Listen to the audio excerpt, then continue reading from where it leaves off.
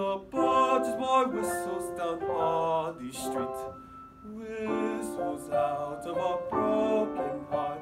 His girl had jilted him, and the barge sacked his job on the barge cart. No girl, no job, it isn't decent that he should whistle down Harley Street. What right has he to keep on whistling?